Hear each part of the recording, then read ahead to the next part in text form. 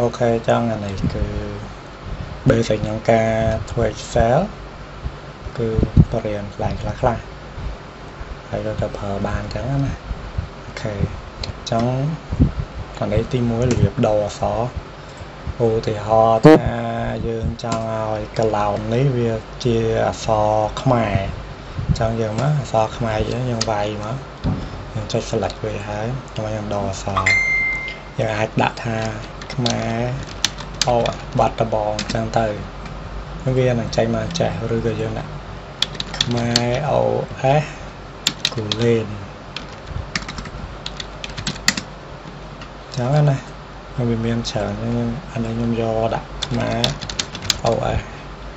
បាត់ដបងអានេះមួយឡើងដល់អសអានេះទំហំជើងព្រិចព្រមតាមហ្នឹងមកហើយនេះពណ៌ background ផកកឡោនមួយហ្នឹងនៅ ត្រង់កន្លែងនេះឥឡូវទៅខ្ញុំចង់ដាក់ពណ៌ខៀវចាស់ចឹងមើលអត់ឃើញទេចឹងខ្ញុំចង់ដូរអសវាទៅជាពណ៌អស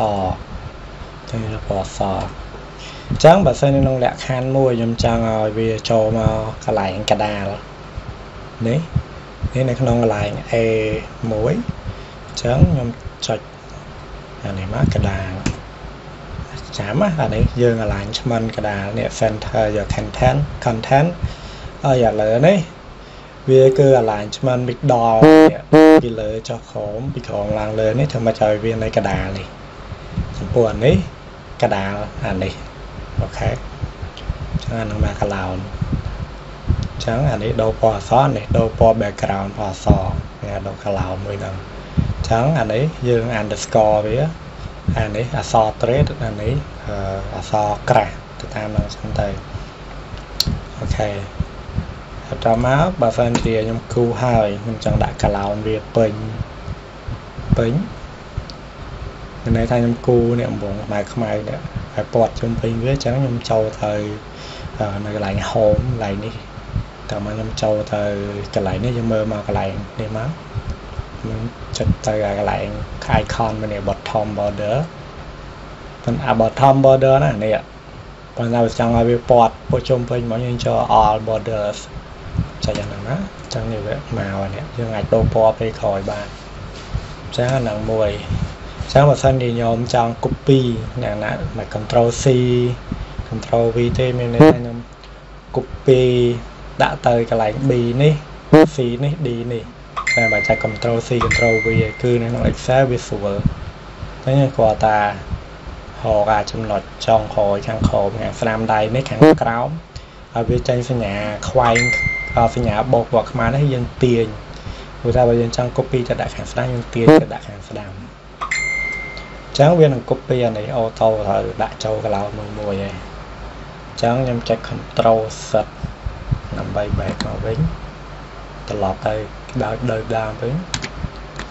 អញ្ចឹងបើសិនខ្ញុំកង់ copy អានេះដាក់ចូលទៅក្រោមខ្ញុំ copy ដាក់ចូលទៅក្រោមអូខេ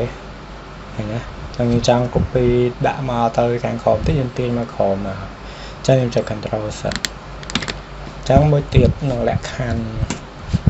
យើងចាំបង្កើត cloud មួយនៅចន្លោះលេខ1និងលេខ2នេះ default របស់វានៅក្នុង Excel ពេលដែលយើងចង់ចង់ចុច insert វានឹង insert ពីក្រោមឡើងទៅលើអញ្ចឹងមកយើង insert ពីនេះមកឥឡូវឧទាហរណ៍ថាខ្ញុំចង់ insert cloud មួយ អញ្ចឹងខ្ញុំត្រូវឧទាហរណ៍ខ្ញុំចុចពេលដែលចុច insert cloud ទៅចុចកន្លែងនេះនេះមើលឲ្យច្បាស់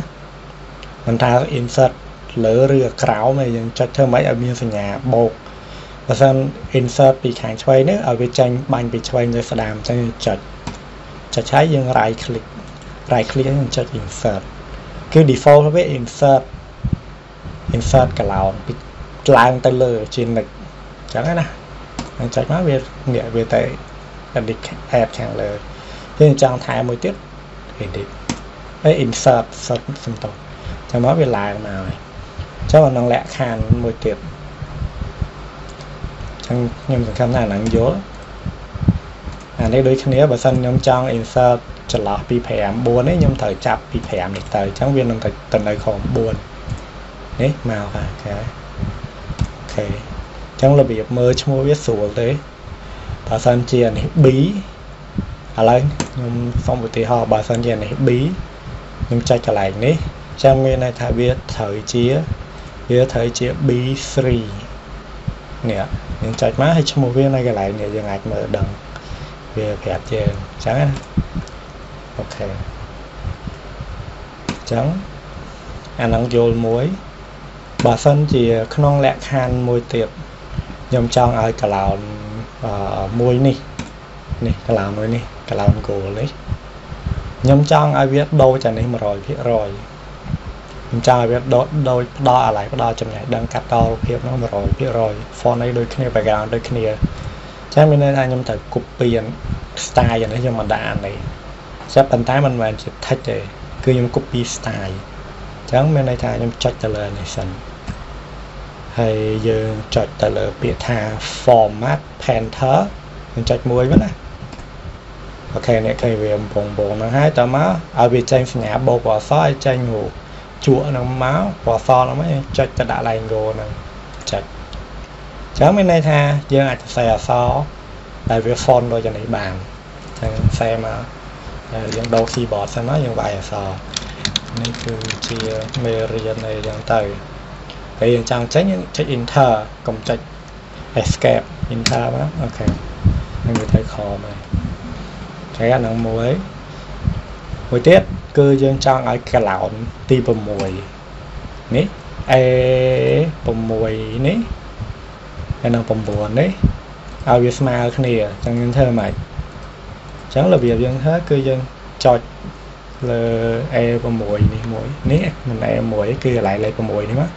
ចុចដូចខ្ញុំអញ្ចឹងមកចុចមួយហើយចុច control ហើយយើងចុចលេខ9តែមានថាវាចុច select 12ហ្នឹងទេបើសិនជាខ្ញុំចង់ឲ្យ13នេះជា select 3រួមពេលហ្នឹងចុច13មកខ្ញុំចុច16មកអញ្ចឹងរបៀបទាញឲ្យកឡោនឹងវាស្មើគ្នាយើងទាញកន្លែងនេះនេះទាញឲ្យចោលមកកន្លែងក្រោមលេខវាហ្នឹងកុំទាញកន្លែងនេះវាអត់ដល់យើង ហ្នឹងលក្ខណៈតែថាយើងទាញតម្រឹមកឡោនឲ្យវាស្មើគ្នា ក្នុងកឡោនជាច្រើនគេហៅ multi column ចឹងចុចមកឲ្យវាចេញរសញ្ញាបូកលើក្រោមវាមានចំកដាមួយចឹងចុះឧទាហរណ៍បើតែយើងចង់ទាញឲ្យវាតូចចឹងអា4ហ្នឹងនឹងស្មើគ្នាចឹងមានន័យថាយើងសេរីពីក្រោមឡើងលើពីក្រោមណា យើងទាញយ៉ាងណាក៏បានដែរតែយើងទាញឲ្យពីក្រោមនៃអាកឡោន4ហ្នឹងអញ្ចឹងវានឹងរួមដូចគ្នាអញ្ចឹងបើចង់ឲ្យវាធំឥឡូវយើងយកលេខ6ជាគោលអញ្ចឹងយើងចង់ទាញឲ្យធំខ្ញុំទាញចុះក្រោមអូខេអា4ហ្នឹងនឹងស្មើគ្នាបើសិនជាយើងចង់ទាញឲ្យតូចយើងទាញទៅតូចណាអូខេនឹងយល់អូខេអញ្ចឹងចូលទៅកន្លែងមួយទៀតឧទាហរណ៍ថាឥឡូវអានេះគឺជា កន្លែងមួយយើងចាស់អញ្ចឹងឧទាហរណ៍ថាកន្លែងនេះយើងចង់សរសេរវាមាន G1 G1 វាត្រូវមាន S1 S1 ហ្នឹងវាត្រូវមានអំច្រើនអញ្ចឹងយើងត្រូវធ្វើរបៀបម៉េចអញ្ចឹងអាកន្លែងហ្នឹងយើងស៊ីសនលើការយើងឆ្នៃអញ្ចឹងយើង add cloud នៃពីក្រោយមកវាអាចយើងពិបាកតិចឬក៏យើងអត់ត start វាអាចជាយូរប៉ុន្តែខ្ញុំនឹងប្រាប់របៀបហើយយើងយកទៅអនុវត្តឲ្យខ្លួនឯងអញ្ចឹងណា តែឧទាហរណ៍ថានេះ goal យើងដាក់ខ្ញុំលុបខ្ញុំដាក់ style ដូចដើមដាក់ដូចដើមយើងដាក់វាពណ៌ខ្មៅមកខ្ញុំដាក់នេះរៀន cell ថ្មីចឹងខ្ញុំដាក់នេះ G1 ចាំមានន័យថាក្នុង G1 វានឹងមាន strategy 2 ចឹងខ្ញុំនឹង add strategy មួយទៀត3 4អីចឹងទៅទៅតាមអ្វីដែលយើងអញ្ចឹងអានេះមើល style របស់ខ្ញុំ add គឺយើងចុចនៅក្នុងនេះយើងមានតែ4 cloud ទេយើងចុចយើងចុច select 4អញ្ចឹងណាដូចខ្ញុំខ្ញុំខ្ញុំចុចអានេះមួយហើយខ្ញុំអត់តបលាញអាម៉ៅខាងឆ្វេងរបស់ខ្ញុំខ្ញុំនឹកចុចវាជាប់អញ្ចឹងខ្ញុំទាញទៅចេះណា ចឹងបលែងខ្ញុំបលែងខ្ញុំបានចង់បាន4គីឡូហ្នឹងហើយវា copy មក font នេះវាដូចគ្នាអីទាំងអស់ចឹងខ្ញុំចុចហើយខ្ញុំចុចចេញឲ្យដាក់ម៉ៅកន្លែងនេះហើយវាចេញសញ្ញាបបបមកហើយខ្ញុំចុចជាប់ទាញទៅក្រោម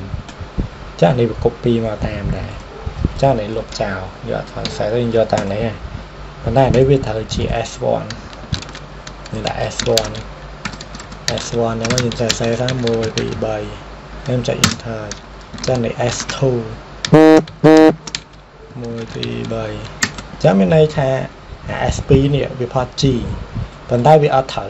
ត្រូវកាឡោនមកអា2នេះយើងធ្វើមិនអញ្ចឹងយើងអត់យើងចង់ឲ្យវាចូលអាមួយនេះវាចូលកាឡោនហើយវាចង់ឲ្យអា2នេះវាចូលកាឡោនមួយនេះទៅមួយអញ្ចឹងយើងចុចយើងចុចមើលចាប់អា2នេះហើយឲ្យវាចូលគ្នាអញ្ចឹងយើងចុចមក